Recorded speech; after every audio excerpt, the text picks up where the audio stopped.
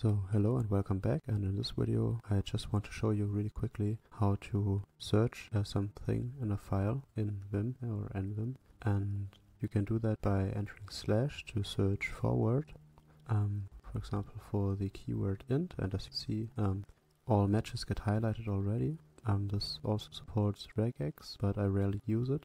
And I think this is um, basically most what you need. So you can press enter now and you can get all the highlights. And when pressing N you can you can jump to the next match until it um, loops over again. And to search backward you can um, enter question mark and this is um, the same thing just that um, you search in reverse order and that's already it um, for this video and I hope it has been helpful again and see you next